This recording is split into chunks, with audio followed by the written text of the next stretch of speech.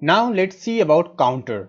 Counter is a dictionary subclass for counting hashable objects. Hashable object means uh, the you know numbers which is iterable. Okay, so first of all, I just need to import counter from collections. Import counter. Okay, that's it. Now to use counter, obviously we need to create a variable that will be uh, anything which is repeated. Okay, for example i'll just um, you know let me just uh, see if if there is something which i can copy. Yeah you can see that it is like uh, a a a b b. Okay there are multiple a's and multiple b's. Okay so i'll just make a numbers okay? 2 comma 2 comma 4 i'll just make a long series of duplicate numbers.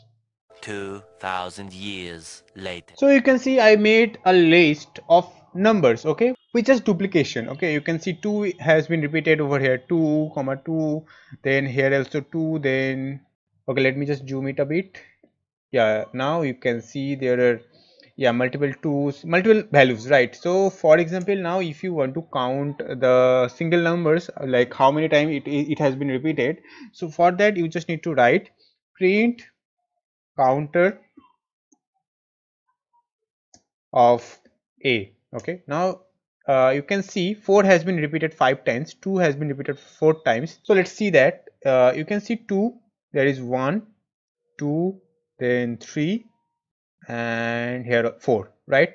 So that means 2 has been repeated for 4 times. Similarly 8 has been repeated for 4 times 5 has been repeated for 3 times 6 has been repeated for 3 times. Okay now you can see one thing that it is in descending order okay?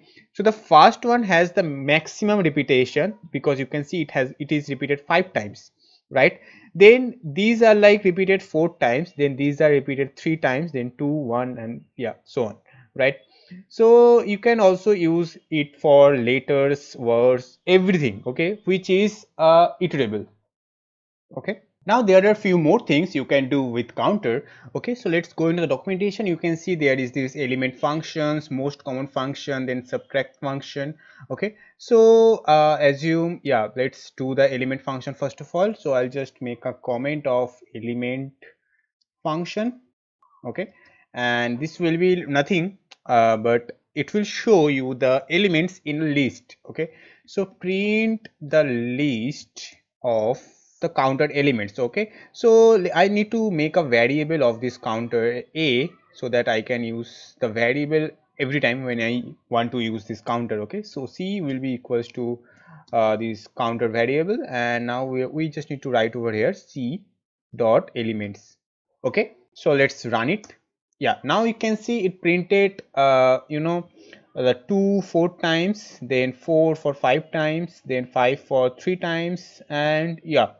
So it will actually show you all the element in like a serial order okay? Because you can see in the initial list we have uh, like 2 is over here then over here then you know random. 2 is in the random places. But now these are all set. Now these are all in order right?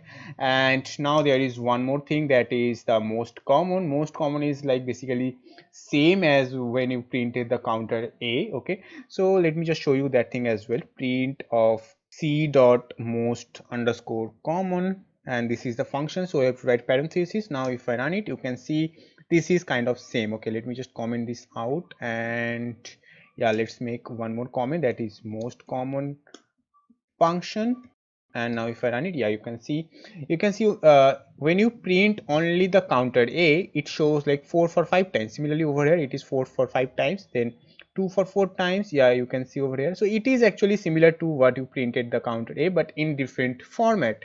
Okay because you can see this is in the dictionary format but now it is in the tuple format. Okay but now there is one more thing that is the subtraction. So subtract function function yeah. Okay sorry subtract function. Now yeah you can see uh, now assume uh, we have this 4 for 5 times right? But you want 4 for 3 times. So we can just remove the two more 4s okay from the in from the actual list okay? So let me just make a variable that is like ace which will be subtracted from a and that will contains a dictionary of like you can see when you printed the counter it is basically a dictionary. Okay so let me just comment this thing. Uh, yeah you can see now. We, when we printed the counter a only it is in dictionary format right? So obviously you also need to write it into a dictionary format okay? So for example we wanna uh, you know remove the two more four so four is four is the key the value will be two and then assume the 8 should be now uh, one time. So we are going to remove 8 okay 8 for uh, 3 that means 3 8 will be removed. And similarly for example uh, 1 6 will be removed. So 6 colon 1 okay okay that's it.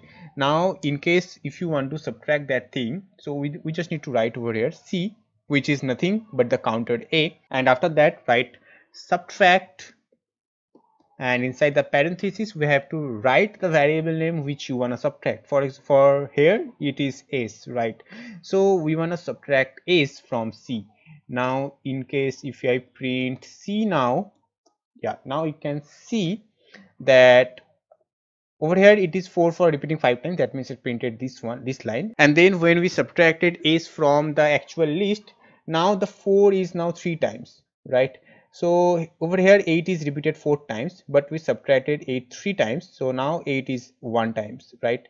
Similarly over here 6 is repeated 3 times but we remove the 1 6 and now you can see the 6 is repeated 2 times okay? So in this way you can use this subtract function as well